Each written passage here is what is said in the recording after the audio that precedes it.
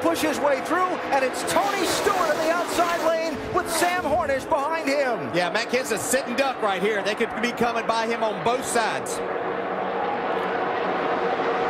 outside.